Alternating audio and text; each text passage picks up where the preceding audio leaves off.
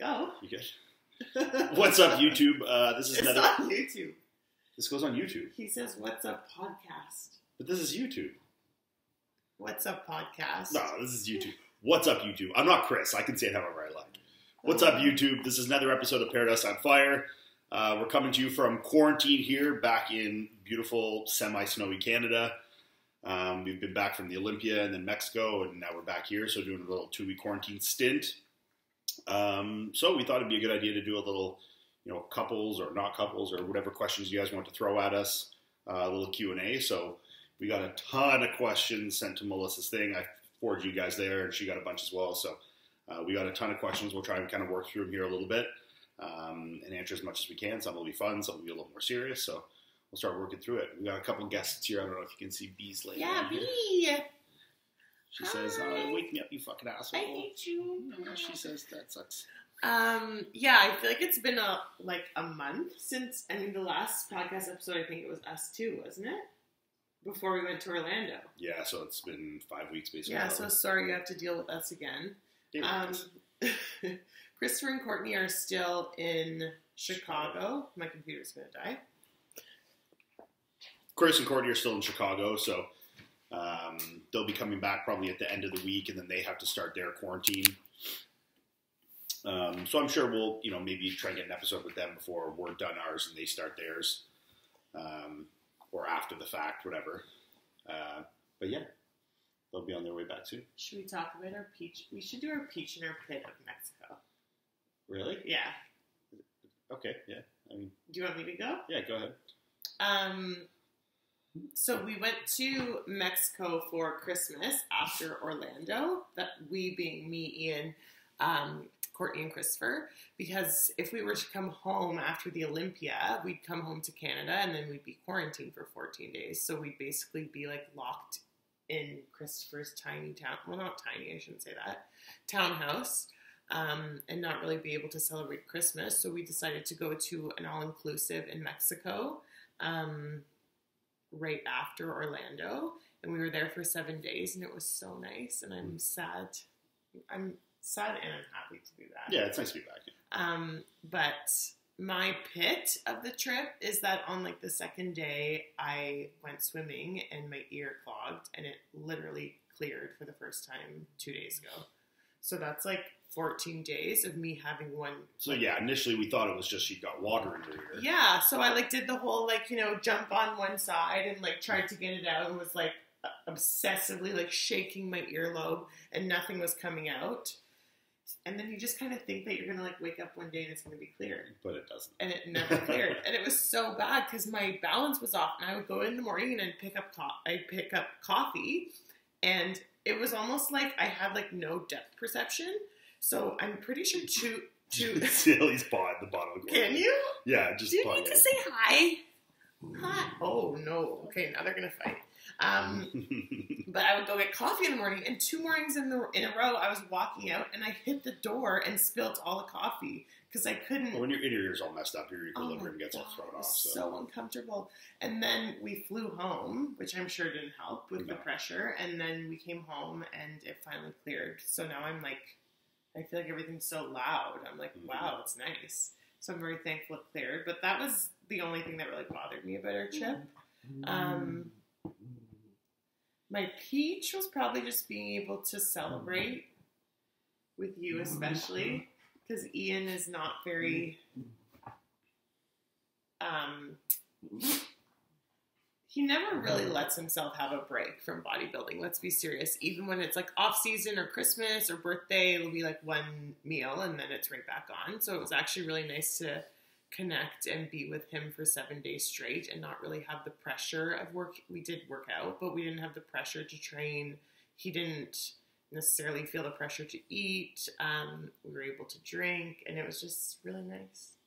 I guess that's a good segue because that would be my peach as well. I guess. Yeah. I mean, like not to steal yours, I guess, but yeah. I mean, for me, you know, we've done vacations a a bunch of times together, Mm-hmm. um, and even if it's an off season, when people be like, "Oh, it's you know, it's an off season, kind of relax," but me competing at the level I compete at, or even before I was a pro, I mean, I, I took my off seasons almost just as seriously as my competition prep, and for me to relax and like say, oh, I'm not going to eat my six meals a day or train or these kind of things was very difficult for me to let go from a, mental perspective.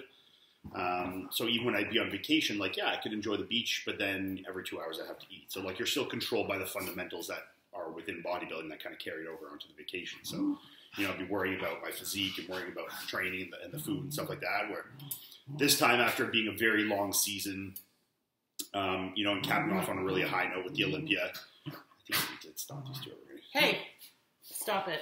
Um, you know, capping off a very high note with the Olympia. Helly, come here. Come. Come. Get up. Um, you know, and, and just feeling like a really good sense of fulfill, fulfillment at the end of the season. You know, I felt like after all that and going straight on vacation from there, I was really able to kind of relax and, you know, put bodybuilding aside for a minute.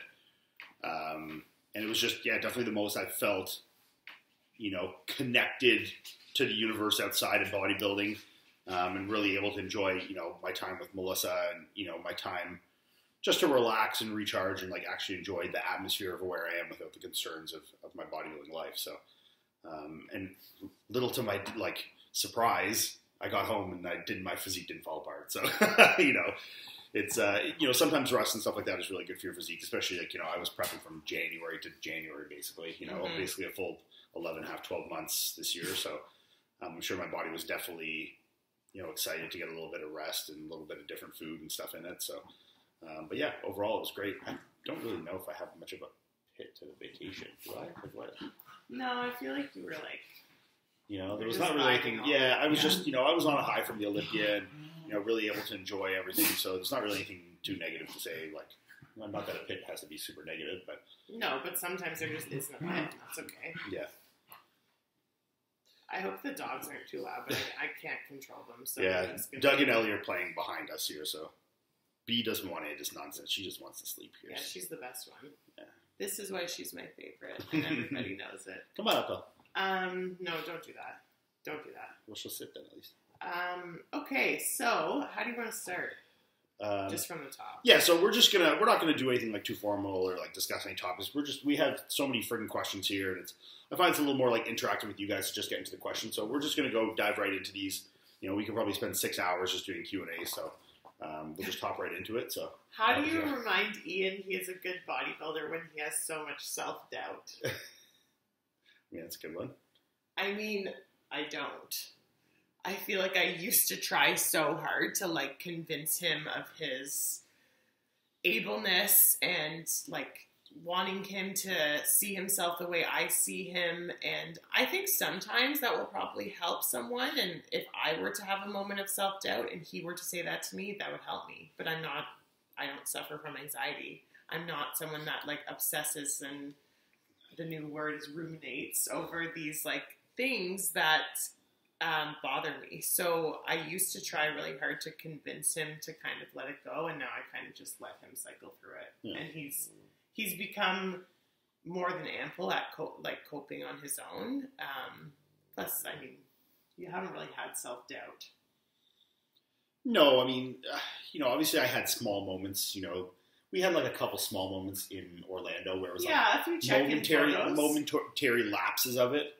Um, but I was, you know, I found myself much more able this time than in the past to, be logical. yeah, to not hyper focus on that one situation, um, and, and be a little, you know, bring a little more logic into it and be like, okay, this isn't, you know, what your mind is creating. to, you know, to give some context, like when he's talking about like situational things or like hyper focusing, if you're taking photos in the same place in the same light and all of a sudden it changes, Iain's the type of person that sometimes he's not able to logically think this is different light, this could be different, this is why I might look worse or better or whatever it is. I mean, before I feel like he wasn't able to use like the logic part of his brain to think that way and be like it's okay. Whereas this time, like there was one photo that we took in different light, and you were like, "What the fuck? Why do I look like this?" Mhm. And you were almost like, "It's different light." Like Yeah. you, you self soothed. where before I would sit and like, or another example of this is, you know, when I'll hyper focus on like certain body parts, and yes, like, and you just know, stare at the stare chest. at like yeah it's like you know for me a big thing with me is like look like the fullness and, and the flatness of my chest is like a as an indicator of where I am in, ter- in terms of my level of fullness in the show.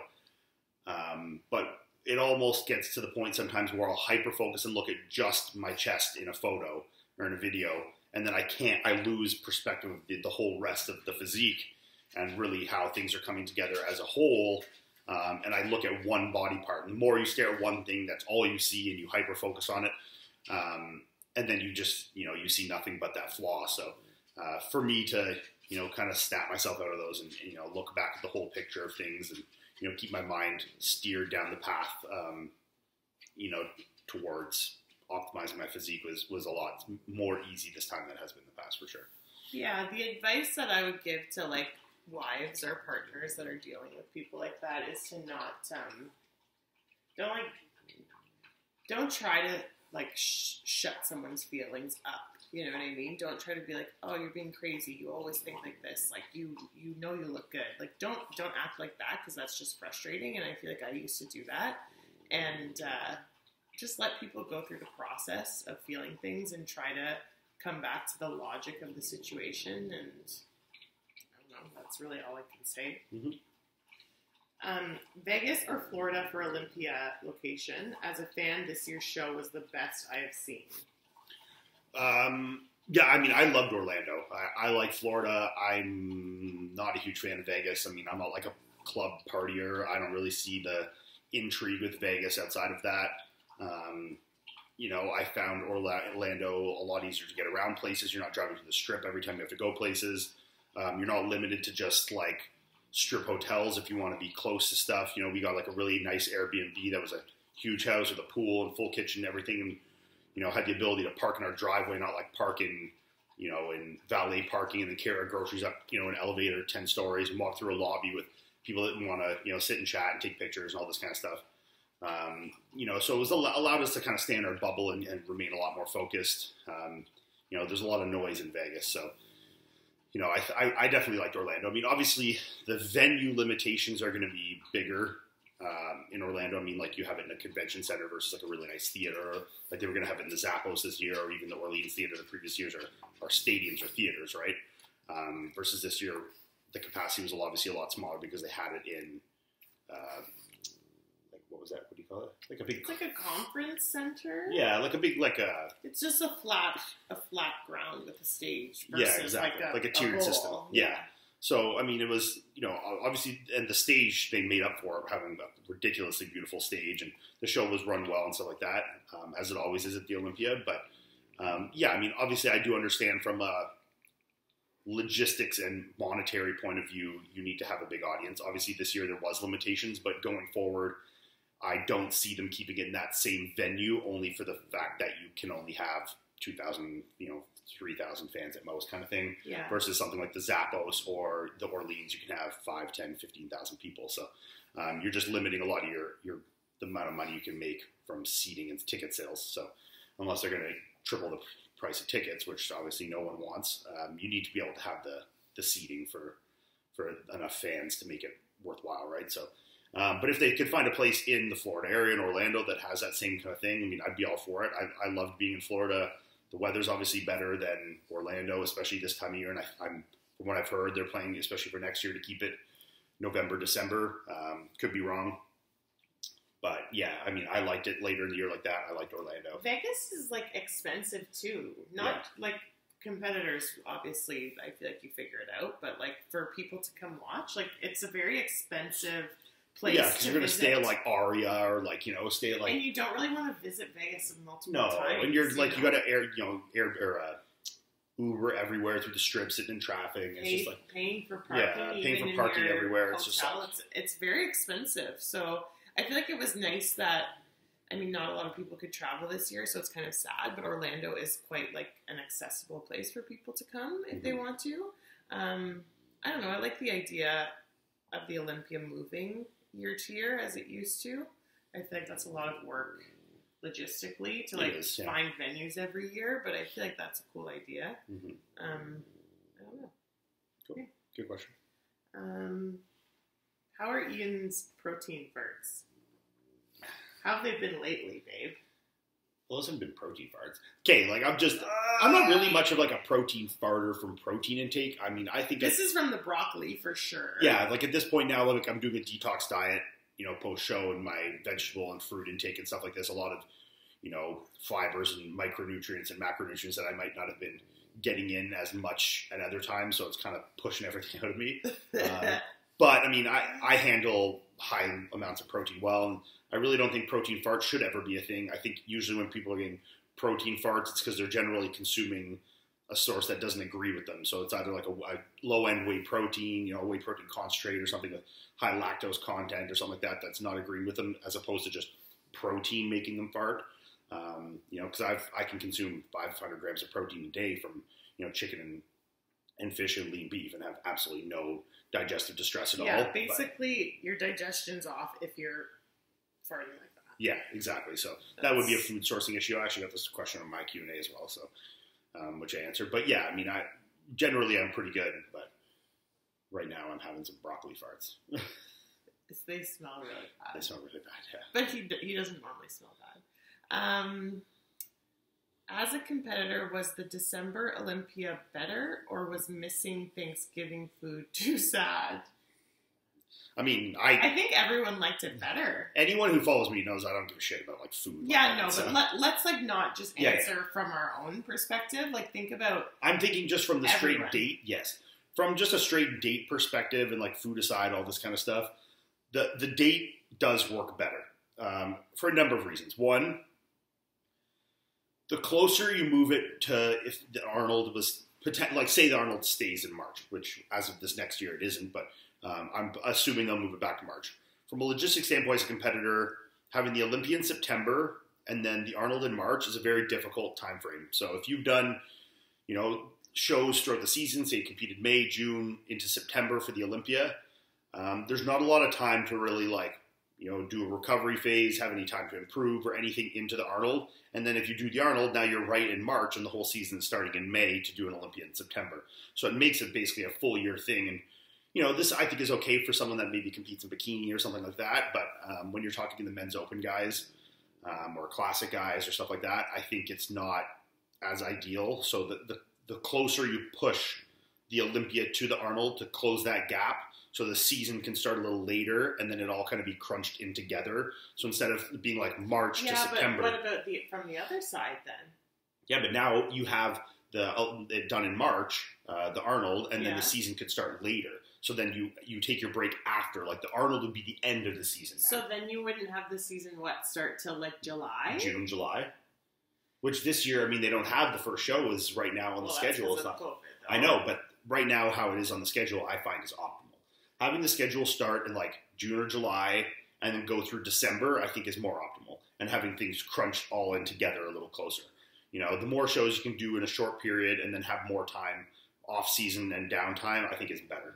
You know, when you when you So spread things out too much, then there's too it's it's yeah, hard to do yeah, everything. Yeah. Question though, would you have the season, the qualifying season, extend to November then? Well, yeah, and that's what they did this year. Yeah.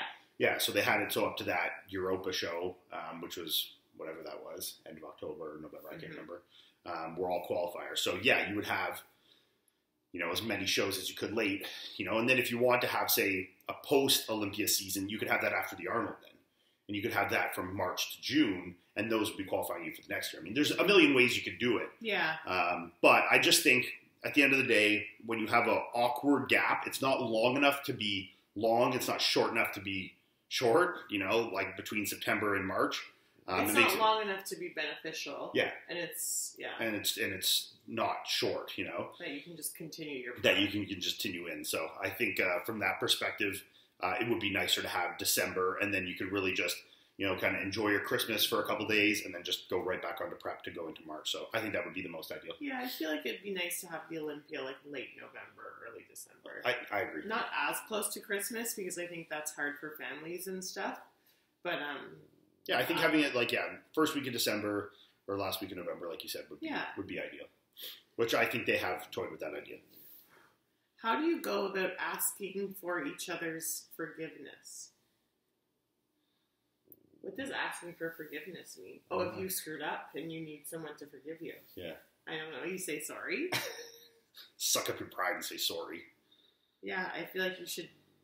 I mean, you shouldn't have any pride when you're in a No. in a relationship. That's. The I mean, I think it's this is just a let go of. communication thing. You need to understand where you went wrong, where their feelings are impacted, and why, um, and then you need to create a, a template of you know how you can work on this together to move forward. Yeah, Do you know what's fascinating? I was listening to a podcast yesterday, and they were talking about like the definition of power Mm. and how it's very different, typically, from a masculine perspective versus a like a, a female perspective. sure. How like females are more like I can have we can share the power, whereas men are almost like only one person can be empowered. You Mhm. know what I mean? And then when you're in a relationship, if you're like fighting for power in the relationship or pride, I feel like you'll never be able, you're never going to say, I'm sorry or No. I'm wrong because then you're scared that you're going to lose your power. Yeah. So I, I, it's just interesting because I actually was like, You need to be able to rel- relinquish your power and not think of it like that. So, you Well, know, you're also on the same team. yes, and you want your you want your partner to feel powerful and you want to be empowered Mhm. there's like a way to do that together and it doesn't have to be like you know combative. um, if you and iain could change i don't want to answer that people always ask if we could change one thing about each other and like we don't there's nothing. Like So- what are we going to say?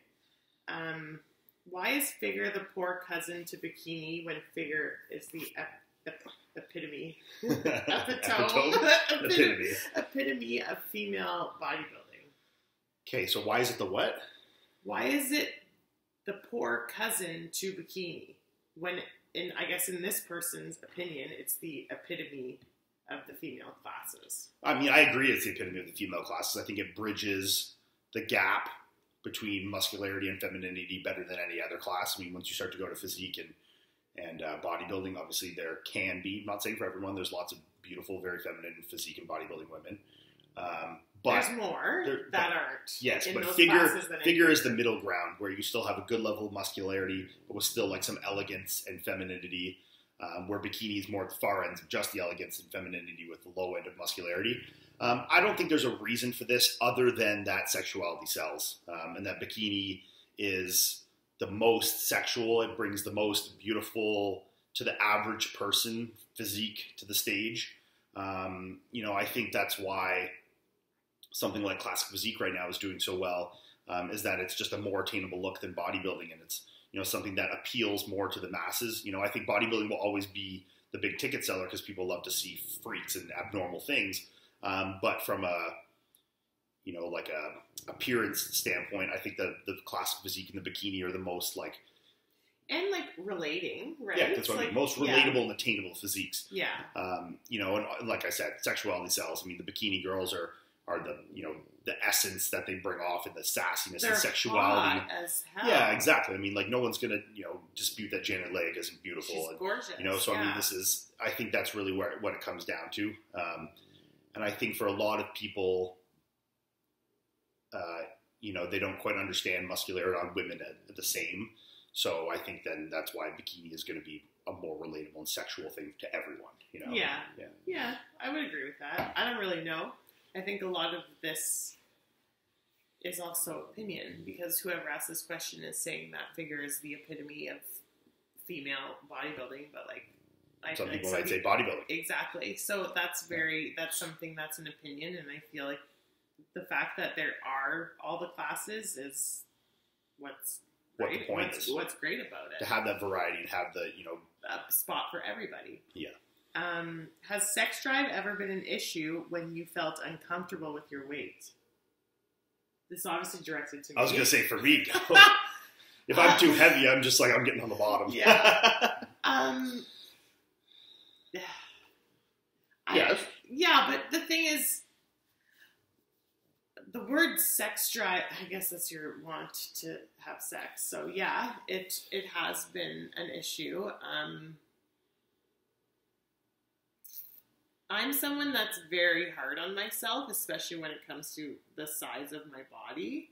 I think as I've been with Iain for longer, I've obviously become more comfortable at every stage um, of I don't know body fat that I'm in. I also recently basically got to the heaviest that I have ever been in my entire life.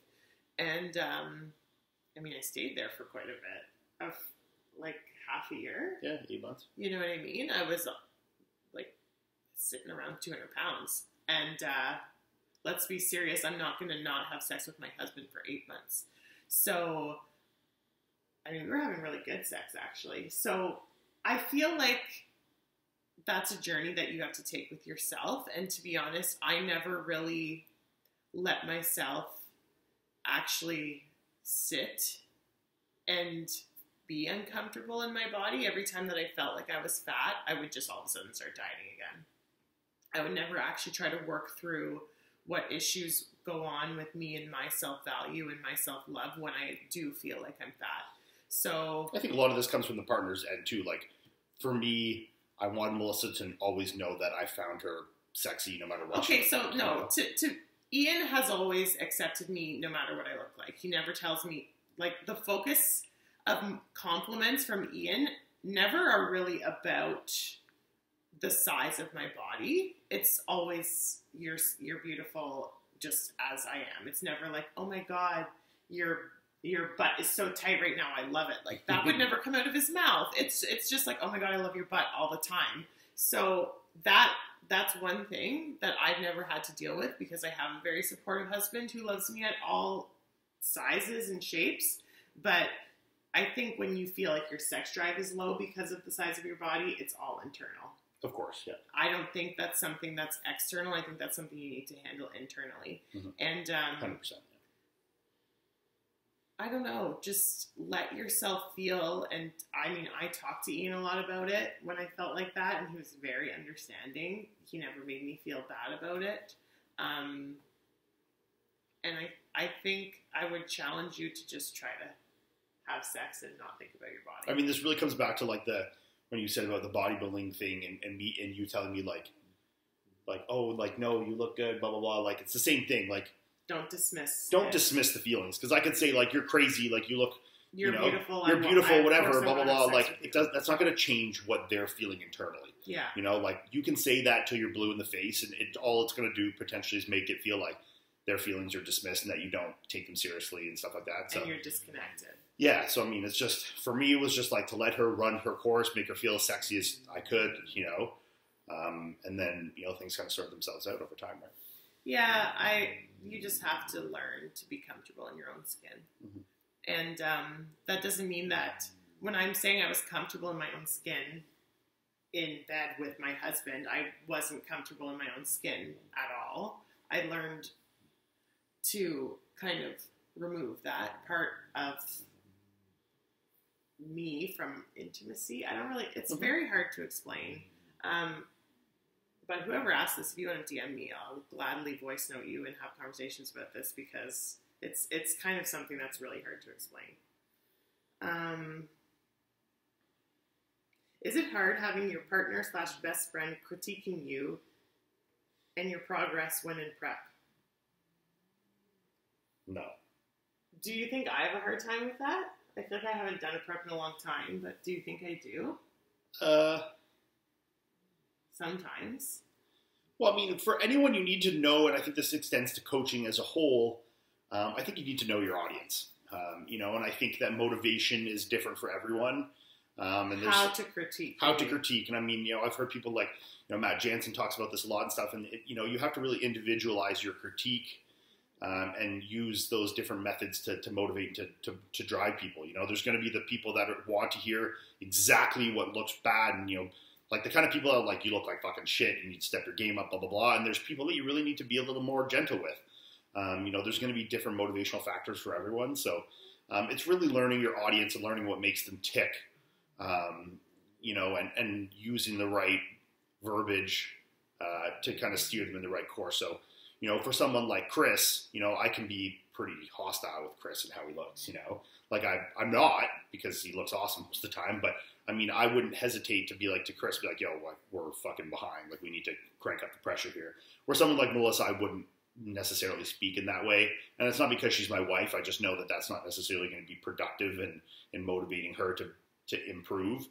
Um, you know, so there's, there's different approaches you need to take from everyone. I don't think, I think we're both good at, even though we do have obviously a strong personal relationship, um, Yeah. that we are good at separating critique from personal attacks. Like this is, we're very professional at what we do. Like we understand that there is, you know, a disconnect between these two, and you know, for anyone to hear critique sometimes can be difficult, especially when they feel the pressures on. Um, but you know, I don't think we take it any more personal because of who it's coming from. No, and I think the longer that you compete in bodybuilding and that you are basically judged by your physique, the less personal that it starts to feel. Like it's I don't think I'd ever be offended if someone was giving me uh, criticism about how I posed or about like my my muscle imbalance. Like someone said the other day, your your one quad looks so much worse than the other, or some or you look uneven, and like that didn't even hurt my feelings. I was like, fuck, how am I going to fix that? Mhm. It just becomes work basically. Um, and that doesn't change because he's my husband and he's my coach. If anything, Iain probably is a bit too easy on me sometimes because I'm his wife, but I mean, whatever, we figure it out. Your favorite non physical trait of Iain and his of you? Oh, this is too deep for me right now. You got one? Easy? Uh,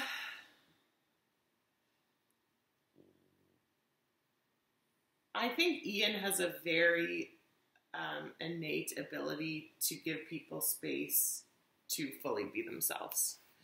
And um, I don't know if I'd ever met someone that's right off the bat and like ongoing has made me feel like I can be and say anything and just be me and that's enough. And I feel like he does that with a lot of people. And uh, I think it comes from him being very confident and secure in who he is as a man. And I feel like that's that's something that like people say all the time, but like I don't think I really see that in very many people. As as I've like met more people, for someone to be so convicted in who they are and to have that be so true that it actually pours out to the people that you're around so they people feel like they can actually be who they are and not be judged and be comfortable and be happy about it i feel like that's probably one of the most uh, i don't know i don't want to say envious but things that i value in you and think that i can learn from That's good. Yeah. I gotta think about this more. That's a tough. That's tough. he might not I'm be not. able I'm to not good at those. he might not be able to answer this on here. Yeah. Um, okay, now they're gonna think that I love you more than you. I think everybody knows that's not the case. uh,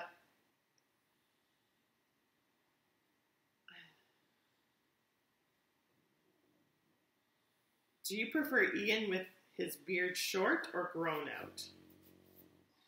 What's a short beard Like, right now? like this. This is short. Yeah. I like it short. You don't like it when it's like big. No, it could be a bit bigger than now, but like I just trim this. I like it close to the face. I don't like it like prickly. no, that's gross. Who said I love you first and when did you know you wanted to get married to Iain? I said it first. Yeah, Iain said it first. Um You said. Did you say it back? No, not right away. no, I said thank you.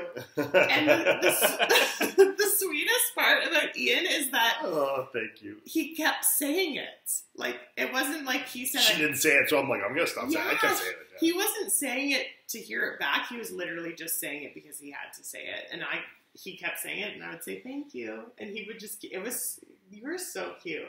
But I also was very stubborn at the beginning and I didn't I loved him long before I told him that I did. Yeah. You know, like I was I don't know. I was emotionally, I was emotionally guarded. I think it was also partly that I didn't feel like weird saying it, not receiving it because I felt it. because you knew I loved you. Yeah, I mean, whether you like felt the like that you could say it to me Yeah. because I knew you were guarded about it at, at the beginning, um, but I could feel that within you and in your actions and you know how we were together. So I didn't necessarily need to hear it more as I felt it. So it was like, you know, it was kind of it's what it was. Yeah. Yeah. what is the best way to bring all my meals to a sleepover at a girl's house? I'm talking like 10 plus meals. Just bring them. That's really cute. Yeah.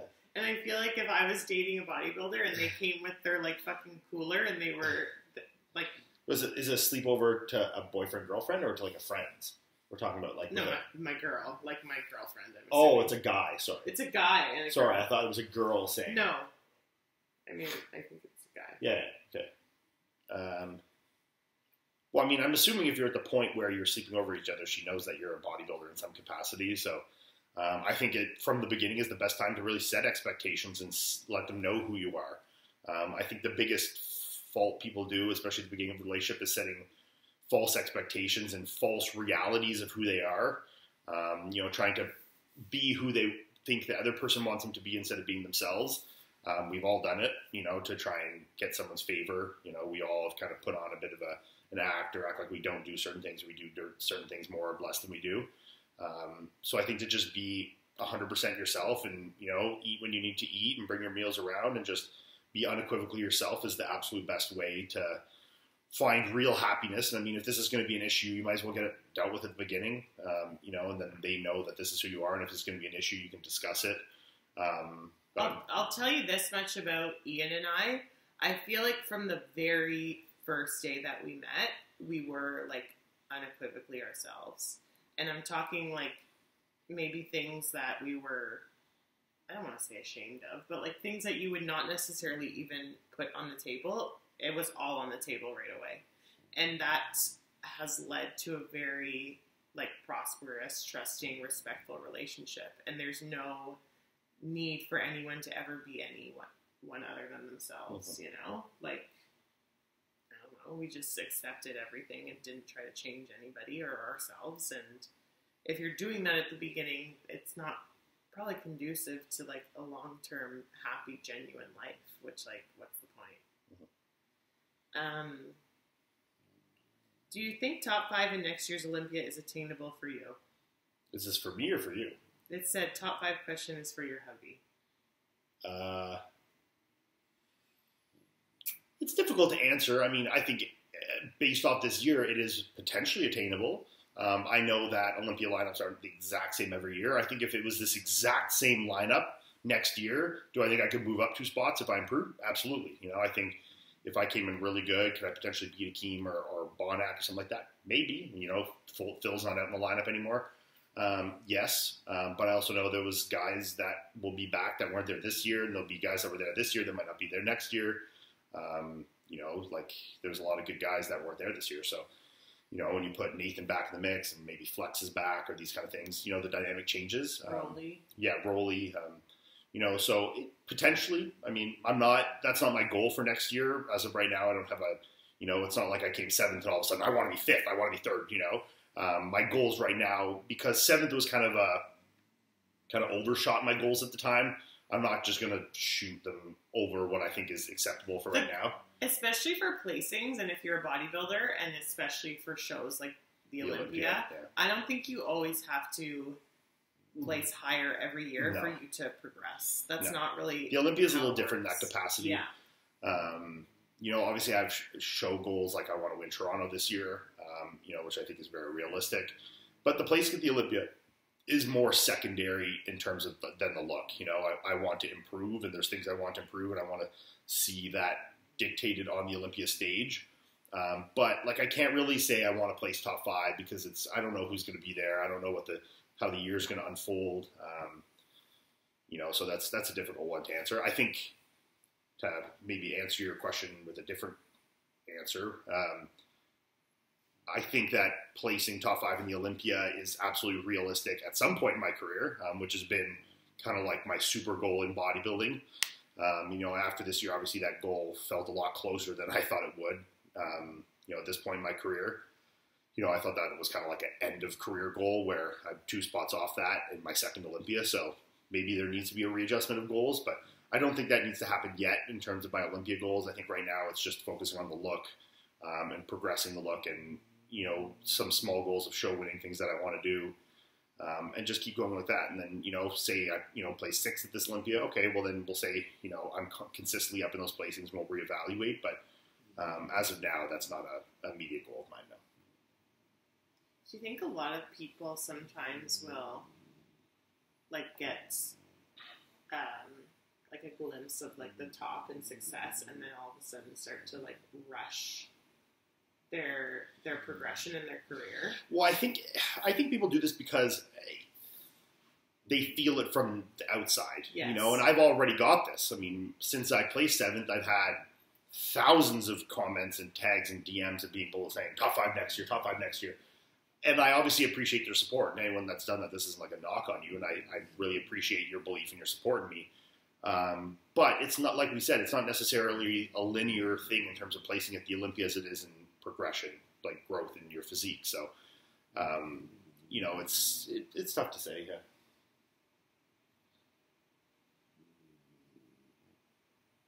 Did the cabinet company resolve their fuck up for your kitchen? Yes, Yeah. It started today. It started today. Yeah. Um, biggest OCD you guys have personally or with each other? Biggest OCD. I don't really know what that means. Like obsessive, like thing that's like a compulsive thing. Mine is definitely you with your bottles in the sink. But is that like a pet peeve or is that an OCD? Like, like obviously I have things like where I don't like the TV being an uneven volume, but like I thought everyone kind of doesn't like that, you know. If it's at 19, just put to fucking 20 or it'll drive me insane. I have to have the bed made if the bed's not made. Yeah. Especially when I used to go to work and I would come home from work, but that stopped happening. But that would bother me because I don't like getting in an unmade bed. Um, I don't know. I don't really. We're pretty relaxed people, to be honest. I I think.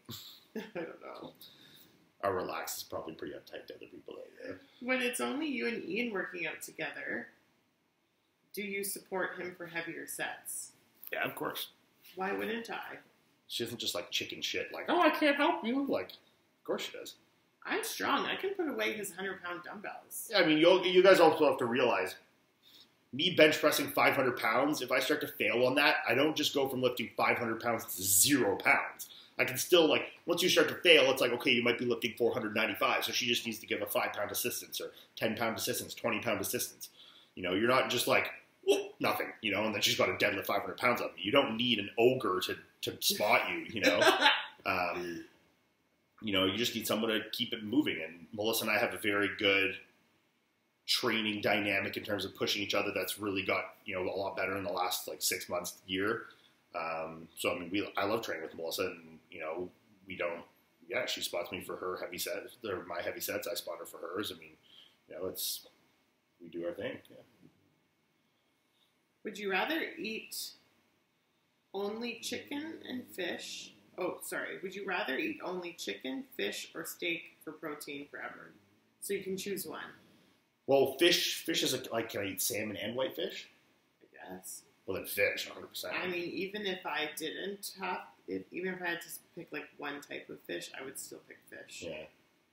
It- I mean, I think from a health perspective, yeah, from a health perspective, from a digestibility, from a sustain, like from a, a multitude of perspectives, I think fish is kind of your best answer.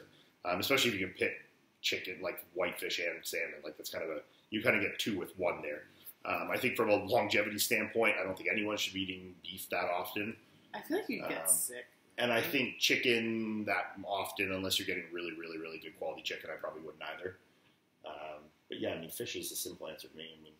How would you both deal with a difference in sex drive, i.e., one person is higher than the other? I mean, I'm a male bodybuilder, pump of drugs. Obviously, I can always have higher sex drive. I mean, you like, there's not, it's not an issue. You know, I don't know. I mean, it would be an issue if it was extreme.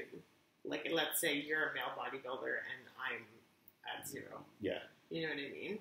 But like,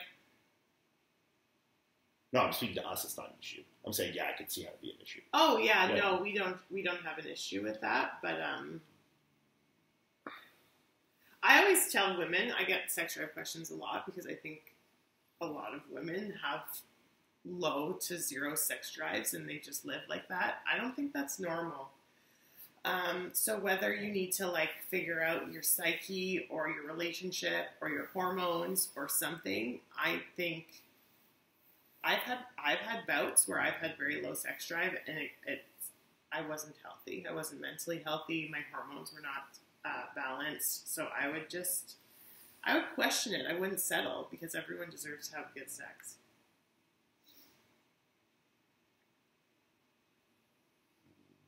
Oh no. What does the sentence "I love you" mean to you both? Is it just a small thing, or is it three big words? That's a deep question. I mean, both. This is interesting because I feel like we were talking to Dylan one day, and he doesn't. Iain and I say I love you all the time. Like I'll leave the house, I'll be like I love you. I'll, what you know what I mean? Mhm. But like Dylan said that our, Dylan's Iain's best friend. He lives with us. He was saying that he doesn't say it all the time because then he thinks the meaning gets like watered Diminished. down. Yeah. But I think if you mean it, then you should say it all the time. I don't think there's like, Ooh, let's just save it for special occasions. You know what I mean? Um, It's the frilly, lacy undergarments. Save it for the date nights. but listen, I say I love you to people that I love. Love. Um, and that's I say it a lot. Like I'll say it to Christopher, I'll say it to Courtney, I say it to my mom, I say it to my dad all the time. I don't. Um, It doesn't lose any meaning. yeah, I. she could say it to me a hundred times a day, and it doesn't mean any less to me. I mean, you know, you and I think, it, I think you should say it often. To be honest. yeah, and it's one of those things that this almost sounds a little dark, but like, you never know when it's going to be your last time seeing someone, kind of thing. You know, like, so I think to always let someone know how much care and admiration you have for them, and to let them know that they're loved is always important. So. Um, I think you should say it as often as you can without sounding like a fucking drone, you know? Um, who is the more sensitive one? Ooh. That's really hard. I feel like That's we're tough. so equal. equal but in different ways, yeah. Probably me by a small margin, but maybe as of late more you. But This is the thing. if you asked a year ago, it would have been me. yeah, But then I'd say I've gotten less sensitive, um, and you've stayed about the same. So I think you might be a little more now. But Listen, we've both grown a lot over the last year, and I think, um, I think me pre like my, I don't know, pre Arnold, yeah, pre my mental breakdown was very, um, that's what we're doing. For. Like riding, Okay. like on Coasting. top of the surface. Skimming, yeah. Yeah, like I don't know if I actually was um, feeling everything. I was very like going through motions in life and just kind of I don't know. I wasn't it wasn't like I was a robot and I didn't have a personality or anything like that, but I think I've started to feel a lot more and to be a lot more introspective over the Mhm. last year and I think it's caused a lot of different emotions to come up.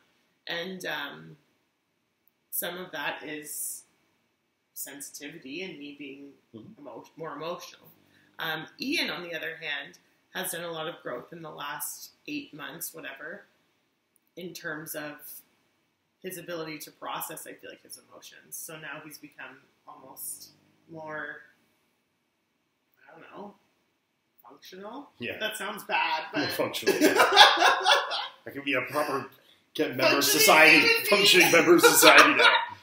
so I feel like we've now like met each other in this middle Yeah. ground of like I think you have to be sensitive to feel the good emotions too. So I don't think there's anything bad about being sensitive and I feel like we're both sensitive people and we both yeah, I don't know.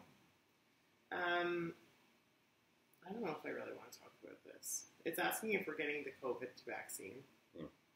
No, we'll leave the politics out of this. Yeah, we don't give a shit. No, we don't. We, We don't. don't we don't do that stuff. We don't talk about that. Um, oh. what are the things Iain has broken being so big? Uh, I read it so dirty at first. I was like, oh! thank you. oh. Um, what have I broken? Couple stools, like uh, like for the bar, like counter. Two or three of those at least.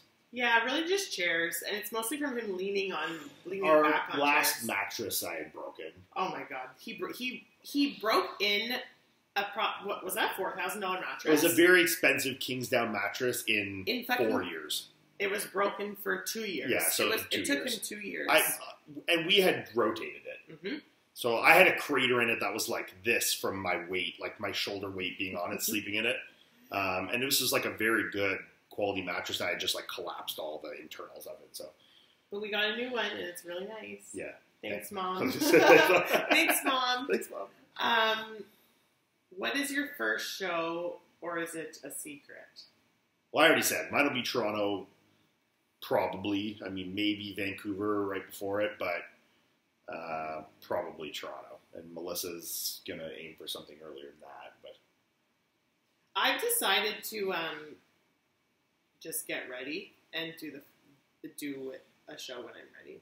And the goal is to be ready in June, like early June, which is when I think the season will probably start. I Yeah. can't see the season starting any earlier. Um, but I just want to compete as much as I can because I feel I don't know how much longer I'm going to do this for, and um, I've really missed it. Like it's it's something that when like going to Iain's athletes meetings and going to these shows, it's not. I don't miss anything other than actually just doing it. So I really just want to do it as much as I can this year because I don't know how much longer I'm going to get to do it for. Which leads to the next question: When are you guys considering having a kid? surprise! Uh, I don't know. I feel like May of 2023. Yeah, every time that you try to plan your life, it doesn't fucking Yeah. go to plan anyways. But like, there is obviously a biological clock for women, so soon-ish. But um, soonish, but not too soon. yeah, I want to be done Yeah. competing, and I don't know if I'll compete after, but there's probably a high chance that I won't. So I want to be done and settled before I actually um, it, we actually start on that next Well. journey as parents. When are the gyms going to reopen in Canada? We don't know. Will we get a tour of the new kitchen? Of course. You'll get plenty because I'm going to show it off Mhm. all, all We're gonna the flex, flex it on you left, right. Flexing hard. How do you guys resolve conflict? Communication. When is Chris's Olympia video coming out? Not sure. DM Calvin. Calvin, you're taking too long. Soon. I check YouTube for it every day because I'm a narcissist and want to see myself in it. How many times do you do sex? Two times. How many times do we do it? Two times. Just two. Maybe one. It doesn't even say like have sex per A week. week, just, month, No. just- How many times do you do sex? I mean, in our whole life, I don't know. Should we try and calculate this? Are you joking? You could not. You could do the math approximation. Then people could work it out for themselves. Enough. Is Iain French or why can he speak French? Why can't I? Why can he? Who says I can speak French? Iain cannot speak French at all. Un He, he can petit- understand it, but un petit peu de français, oui. yeah, but that's a lie. No, I don't really speak French. People I mean- who speak English, especially people that live in Ontario. Ontario, all they need to know how to say is un petit peu, and then everyone can thinks think they can speak French. I mean, most of us, especially in Canada, like you learn French in elementary school up to beginning of high school, and for the rest of high school, if you continue to do it, um, French is like your second language you learn in high school. Like in the states, you might have Spanish. In Canada, it's it's French. So most Canadians know some French. So if you want to pretend to be French, you certainly could. Um, I have a very French last name. Um, I don't say it like super French. Uh, that's my dad's, obviously my father's father. Uh, so my, my grandfather was very French. Um, you know, like he French was his first language. He didn't speak, you know, fluent English until later in his life. Um, but that kind of ended there. Like my, my dad's mom was very English. Uh, my dad doesn't speak any. My dad speaks less French than I do. Um, maybe his sisters probably speak a little French, but yeah, it kind of ended with my my dad's generation, and you know, I know a little bit that I learned through school, and you know, one of my best friends is French, and I pick up here things here and there, but uh, I am by no means French now. Next vacation you want to take as a couple? You want to answer that? When do we get to go? That's not the question. You Yeah. go tomorrow. What's the answer? Uh, I really want to. I, I mean, I really, really want to go to Aspen. Because, Yeah. but that's also I've missed. I've literally missed winter over the last three weeks. I'm Canadian. I like in the winter. I like the snow. So I really, really want You, to go to it's Aspen. not even. Yeah, you like like the coziness. Yeah. You like like fireplace It's and cozy and like nice snowfall and you know that kind of stuff. There's obviously like for Canadians, you know, any Canadian that like, especially grew up in like Eastern Canada where there's a lot more snow, there's going to be a huge nostalgia factor to like winter and Christmas season stuff like that. Um, so yeah, I mean, somewhere like that would be nice. Aspen looks so nice too. Yeah. Um, listen, I feel like there's obviously cooler places we want to go to, but I don't even really think about going anywhere far right now because, like, We've done enough fucking quarantines. yeah, you know, and I mean, I guess we'd have to quarantine for what's no, but we also travel so much for shows that the idea Yeah. of doing like a trip to Greece or a trip to Italy or a trip to fucking Australia, if it's not like for a show, it just feels like too much effort Yeah. at this point, Mhm. which is kind of sad, but it's true. Um, where has Chris been? Well, he was with us in Orlando. He was with us in Mexico, and now He's in Chicago. he's in Chicago. So we left. We left Mexico. Melissa and I flew home to Canada, and now we're doing our two week quarantine. Uh, and Chris flew with Courtney to Chicago. They're staying there for a bit to do their Christmas with Courtney's family and all that kind of stuff, and for her to get Poppy, her dog, uh, and they'll be returning to Canada. Any story? Oh, sorry. Does Iain think he has a shot at winning the O? No. Yeah, I mean, no, that's not. Something that's at a goal for me. I mean, it's not. You know, if I do, it, it's gonna. What's gonna happen is gonna happen. I'm not gonna set that as a goal for me. So, uh, no. To answer that question, I don't. I don't believe that's a, a thing that I should set my goals to attain. Probably stupid question, but are you related to Chris? I don't know how I don't know this. well, yes, Melissa is Chris's older sister. I am married to Melissa, so that's Chris makes Chris my brother-in-law. So Iain married to Melissa, Melissa sisters with Chris, Chris dating Courtney. That's the dynamic. So I and because a million people ask this, I met Melissa first. So I didn't meet Chris and then start dating his sister. Chris is five years younger than Melissa and I. So when I met Melissa, Chris was in high school and I was you know, three years out of high school already. He was in grade 11. I was three years out of high school. Um, Melissa and I actually went to high school together, but we were in very separate social circles. So we didn't know each other in high school. Um, you know, we knew of each other, but we probably never had a conversation or hung out or anything like that. Um, but we had a mutual friend, um, Ashley, who has been a friend of mine since even before you Yeah, I didn't meet Ashley Yeah, until I was 16. 16, but I'd known her since I was like 12, 13. Um, and then after high school, Ashley and Melissa had kind of reconnected and were hanging out more. And Ashley was actually living with me at the time. Um, and that kind of brought Melissa and I together. Then we started hanging out, and the rest is history. And then, then I met Chris through Melissa. Chris was already a little bit into weightlifting, but like I said, he was in grade 11. Um, and then as I competed, then we kind of all got into that dynamic together. They started competing and stuff like that. So. What's your trick to keep normal? People love sex questions, and this is because of you, Yeah, sorry. because you're a pig. What's your trick to keep normal sex life with your partner after PED for years? Is a guy asking this. Yeah. Well, yeah, I mean, obviously your desire is going to be lower after being like at a high high from a you know androgen, sex drive, you know hormone perspective. So even when you come down, your testosterone's normal. It's always going to feel blunted compared to where it was. Um, so you know, first thing is obviously making sure that if you're not in the normal range, that you get so. So if you've been doing it for years and you need TRT or HRT or something like that, that you're doing so, um, or you know some kind of post cycle therapy to make sure that you're getting your hormones back regularly as, as much as possible. Um, you know, there's going to be a lot of other things that can correlate to this as well, like you know lipid levels and you know cholesterol levels can impact your sex drive a lot. Um, so bodybuilders that use like lots of Anavar and stuff like that that might have depressed HDL and stuff like that can um, definitely have you know an impacted sex drive. So these are going to be things that you need to check out. Um, from a personal perspective, you know, it's. You want to take that one? I don't. I don't know. Oh. I've never had that issue with you, so I don't know what. I don't know. I don't know. Go get some Cialis. No, that's not the answer. I mean, I think this is just a communication that needs that to happen here. I mean, you know, if your partner is worried that the less sex is because of the less attraction, you obviously need to have the, the discussion um, and just make sure you guys are on the same page. I think that's really the most important thing to all of this is as long as everyone is understanding and everyone is okay with the situation, I think that's the most important part of it. Um, you know, I also think there's like if there's any sort of like shame around it, Mhm. um, speak about it. Mhm. Say, I'm. I mean, something that's really powerful to say when you're trying to talk to your partner and you're scared too is that like I'm nervous to talk about this with you, but I need we need to talk about it, Mhm. and that I guarantee you guards go down and the space is open and clear for you to speak, or it Mhm. should be.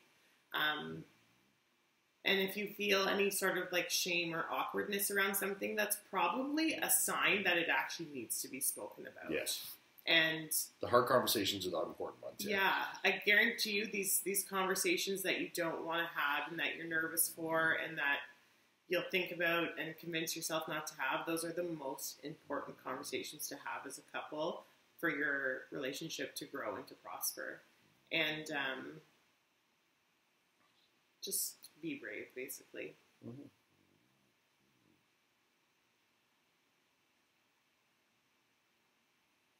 Why didn't CBum wink at you on stage? I don't know. Why didn't you, Chris? That was rude. I actually was very surprised. Yeah, but we were also standing like, I don't think he could see. well, we were standing way over at the far side, like he wouldn't be able to see. No, for, for prejudging. Oh, sorry, was prejudge. not. I wasn't there for prejudge. I I don't know if he could see me. I swear he could hear me because I was saying like flex your glutes, then all of a sudden his glute would flex. But um, I don't know if he could actually locate me in the crowd, which last year he could. And uh, for everyone saying the screaming, it was me. Like, Yeah, you could hear Courtney screaming, but what through the live stream and everything, that was Melissa you could hear screaming, not Courtney. I get I, I get offended when I don't get credit. For that. I- I lo- I lost my goddamn voice for that. Um, Melissa, how is it for you to see the two people you care about most achieve great success? it's good. Fuckers. Fuck them. uh, no, honestly, it's uh, like you're uh, you always want that for people that you love. I mean, for everybody, you really want everyone to feel good, but when it actually happens, and it happened for both of them, it was really. I mean, first it was relieving, uh, for sure, because you don't want to see people sad. But then it was just surreal. Like it, it was very euphoric after um, the weekend. It was it's it's special.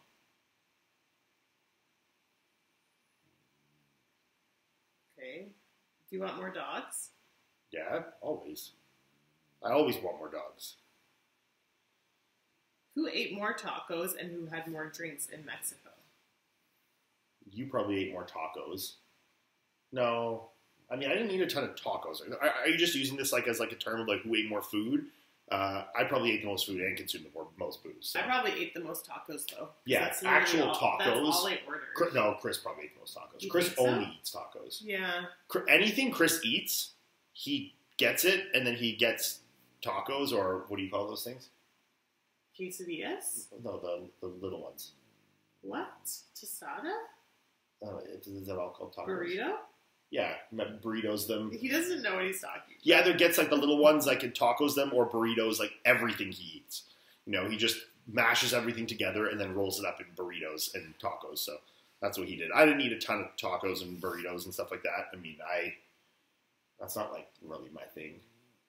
Uh, but I, I certainly ate the most food and I certainly consumed the most alcohol.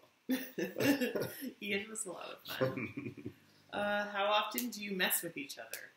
Big Love 2021 is for both. of All day, every day. It never ends. That's probably That's true. true, yeah.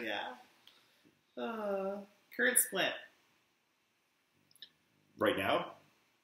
I mean, right now because we're not we're on quarantine. It's really nothing. Uh, but before that, I was doing a kind of a modified. So I was doing chest and triceps, back and biceps, quads.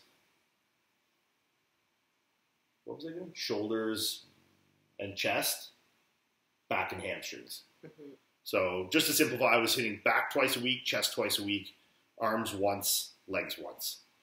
Um, and the reason being, obviously, I want to improve my chest and my back the most. So I was giving them the most attention, get trying to get blood in there the most often, um, which I think worked. Uh, you know, I think they both looked the best they had by a long shot at the Olympia. So, um, yeah, that's kind of the approach that we took for there. Um, the volume was a little lower. Like when I'm saying I would do chest, uh, like shoulders and chest, um, I would do like my main shoulder workout, and then I might do like two chest exercises. You know, like some blood work. Like I might do you know five sets of pec flies with a 45 second break, so I'm to like really force some blood in there. And the same thing, like on my hamstring day, I would do back again. I wouldn't do like six back exercises. I would do like, you know, maybe a giant set or two or three exercises kind of thing of two or three sets, like, you know, six to eight or six to seven working sets at most. Um, that's kind of how I would do it. So, I mean, people want to know your answer to that too. I do whatever he does, except for chest. She doesn't. And arms. She doesn't train chest and arms really. I force her to do some arm stuff here and there, um, but she'll also do more glute like glute specific work that I'll do, um, and she trains shoulders more than I do. I don't really need to train a ton of shoulders, um, and I don't definitely don't need to train a lot of glutes. So, um, you know, I do some glute work obviously with my hamstring work, my quad work, squatting and leg pressing and stuff. Um, but I also don't yeah, train shoulders two or three times a week like she would. Yeah, sometimes like I'll do a glute day with Courtney when he does a chest day, or I'll just hit my shoulders again. But I really am focusing on everything from the back. Mhm. So hamstrings, glutes, back, lower back, um, and just detail and thickness. So I don't really think I need to grow my quads. I still train legs like a motherfucker because Mhm. that's just like what you do. Like that's yeah, I feel like you can't not train legs like that. Um, and I do think that I lost significant tissue. So, um, But it's come back and then some. That's for sure. yeah. So I've, I've been training everything really heavy and really hard, but I'll always focus mostly on back and um, glutes and hamstrings because that's like a very Mhm. one dimensional part of my body. Um, when did I know that you were the one, babe? I don't know. When did you?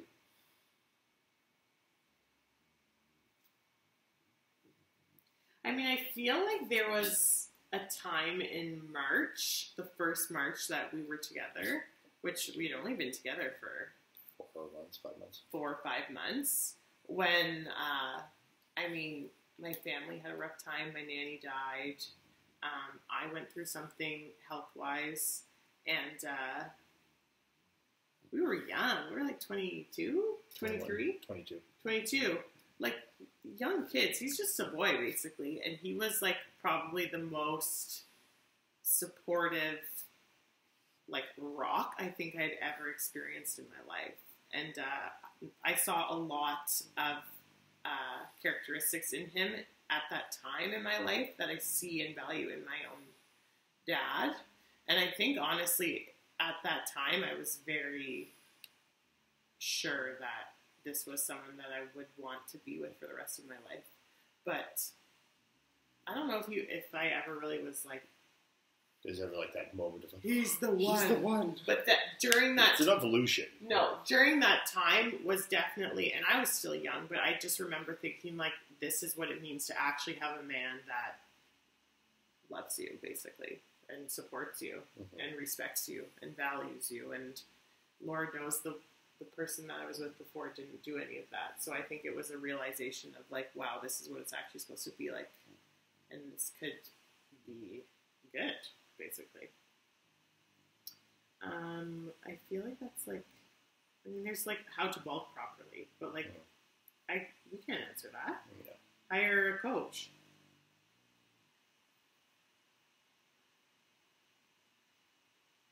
Do you prefer going to sleep early before finishing all your meals or finish them even if late? I mean, I would always finish all my meals. I mean, this is my life. I've stayed up till three, four, five o'clock in the morning finishing meals. I think, I mean, people are going to have different perspectives on this. There's going to be people that think, I think that the recovery is more optimal. I disagree with that. I would rather get two hours less sleep and get all my food in. I think over a long period of time, the calories will be the most important. Um, but I mean, it's yeah, it depends on you. I mean, I'm also speaking from someone that doesn't have to get up to go to work in the morning. So, You know, I don't have to get up at 6 a.m. to go to a job for 7 or 8 a.m. I mean, I can sleep till 9 if I need or 10 if I need. I mean, you know, this is my life. So if I can just stay up till 3 o'clock in the morning to get my food, it's not going to like throw off my whole, you know, day. And if I'm tired the next morning, it's not like I'm going to be, you know, have to work an eight hour work day tired. Um, but I always think that you should. The thing is, in my opinion, the harder decision is going to be to get up and eat the food. So I think that's the one you should do. You know, it's easier to get up and go to bed because that's the one we want to justify in our mind as being better. But the reason you're trying to justify that in your mind is because it's not better. you know? Yeah, I mean, are you are you working towards a goal? And what is that goal? And how are you going to get there? And just base your I- actions. I think that. that the vast majority of the growth I've been able to attain by my age has been by consistency and perseverance with food. Um, obviously, a lot of this will be, you know, hard training and stuff like this, you know, which unequivocally obviously will yield a lot of growth. But I think the consistency, like I could count on one hand how many meals I miss in an off season over a five year period. You know, I mean, like it's very, very minimal. You know, even the days I fall asleep on the couch, wake up late, you know, I always get the food in. I always make sure it's there. Um, you know, especially if your goal is to be like on the big, big end of bodybuilding. Um, you know, those meals are pertinent. So I think that's something you should absolutely be, you know, focused on getting in. when you were feeling down and lost, what helped you start to train again hard? That's for you. Um,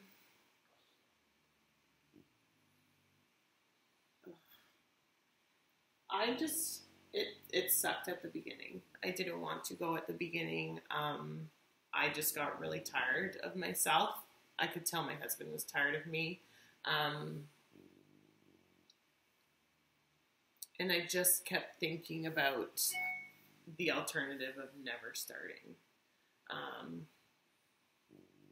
so basically, days started turning into weeks, started turning into months, and it almost came to a year, and I hadn't gone to the gym. And uh, I, I just was at the point where I was like, okay, you're either going to be this person that doesn't work out and is overweight and doesn't like herself or her body, or you're going to suck it up for however long it takes to get back in there and get back in shape.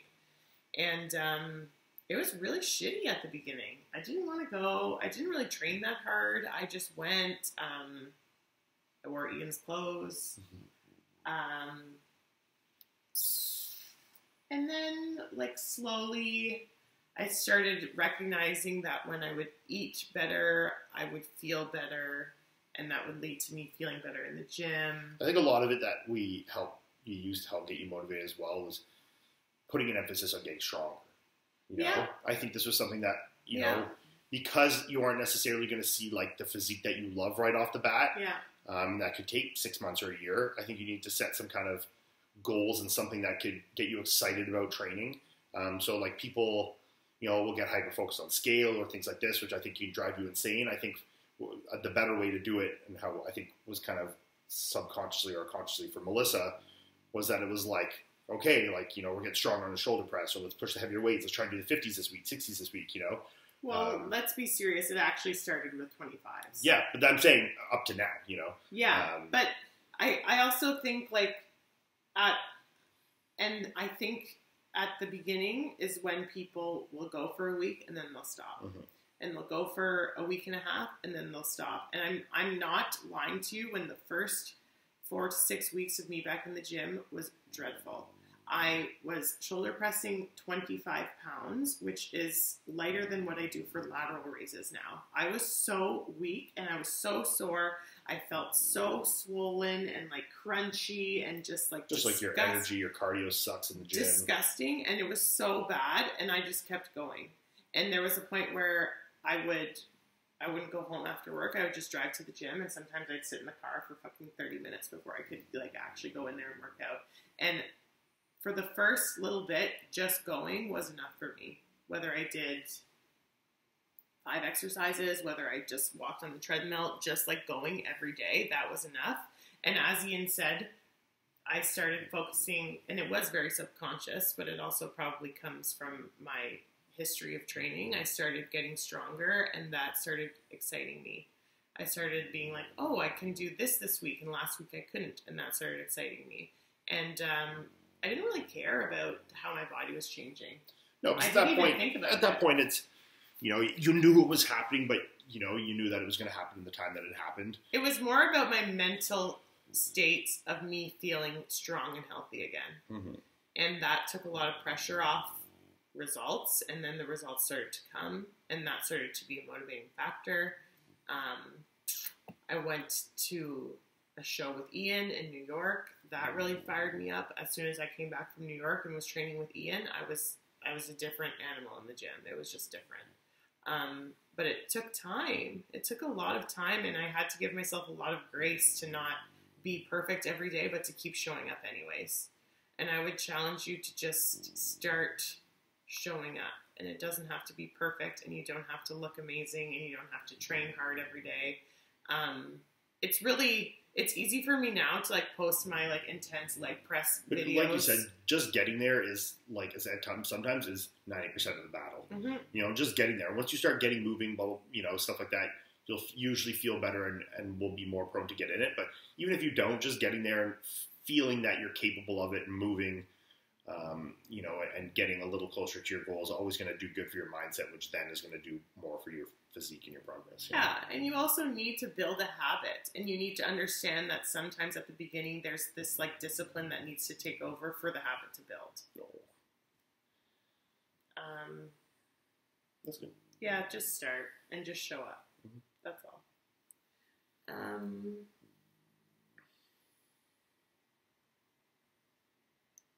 okay, this will be the last one. How did you guys meet? Explain how the first dates went. Mad respect to you both. Well, I or kind of explained it the first time, so you can, Yeah. you can do it from the beginning. Then. We met through Ashley.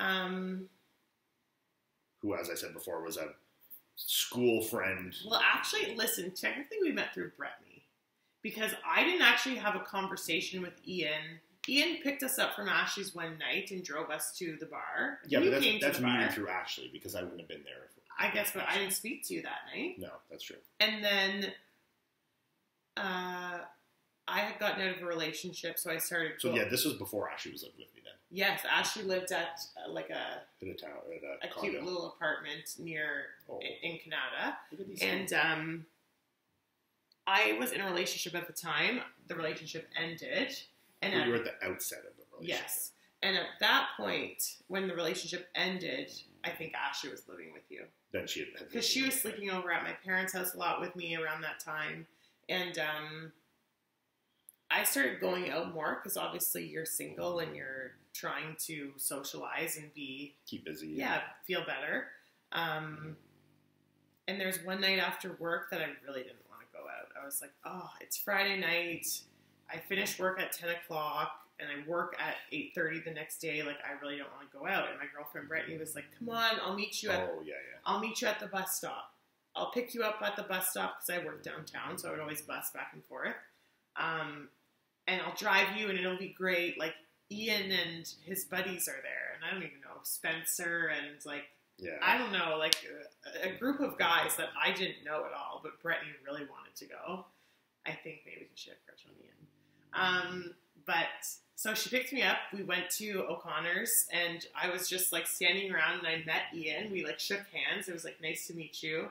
And I wasn't drinking because I worked at eight thirty. And um, I wasn't drinking either.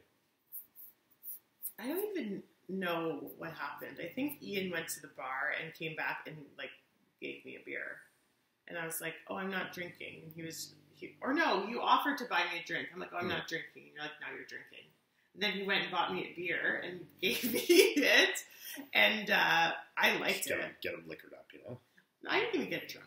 I, I but I liked the assertiveness I, a lot. And then when we were driving home, uh, Brittany was going to drive me. She's like, "I'll drive her. Don't worry." And he was like, "No, no, I can drive her. I'm going this way anyways." And Brittany was like, "No, like I want to drive her. It's fine." And Iain was like, "Very, I want to drive her." So then I was like, "Okay, fine."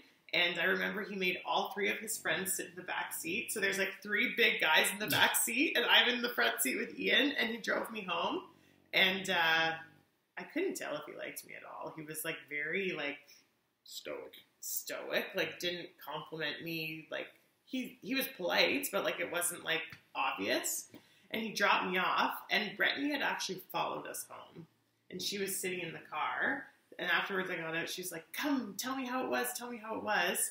And then I got in her car, and we were like sitting in the front seat, just chatting before I went into my parents' house. And I was like, "I think I'm gonna text Iain to say thank you for driving me home." And Brittany was actually like, "Okay, I'll text him and say thank you for you." And I was like, "No, give me his number. I'll text him myself." So then I texted Iain and I said, "Hey, it's Melissa. Thank you so much for the ride." Smiley face. And then I knew I had. Iain says uh, with the emoji, he's like, "I knew I had her."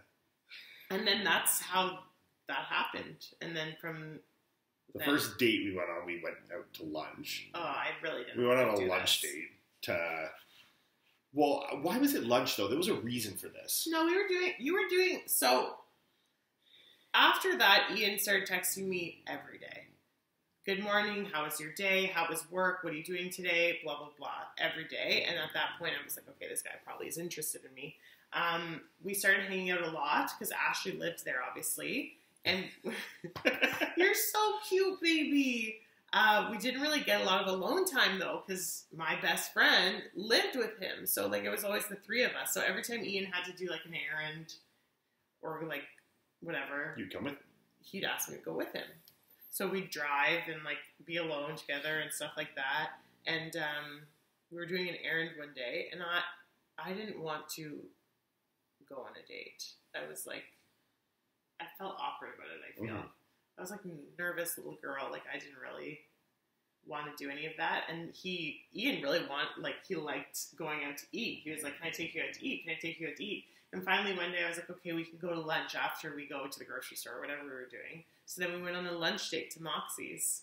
And I don't even think did I eat? No, I think you had a drink. And that was Yeah, it. I don't even think I ate because I was a fucking idiot at that point. Now I look back, I'm like, why didn't you eat? Free food. but yeah, that was our first date, and uh, yeah, that was we hung out almost every day after that. I feel. For a while, yeah. Anytime I could. Yeah, he uh, he was very very assertive, and I think I really liked that. Cool. The genesis of Iain and Melissa. Yeah, we'll have to tell the story of our first kiss another time. Yeah, we could tell it. That. That's that's Someone asked that next time we do this. Someone actually did ask that. Someone and they also asked they also asked how our first night was. Oh my god. Look at these two. Okay. That's nice. This is the end of the podcast. Yeah. Thank you guys so much for listening. Um, hopefully next week we'll be back with Christopher and Courtney. Um, Yeah, they'll be in quarantine, but we can do it like us at our house and them at theirs. Yeah. And then um, maybe when our kitchen is done, we can do it, an episode in the new kitchen. Yeah, that'll be fun. Okay. Cool. Thank you for your question. Peace out, YouTube.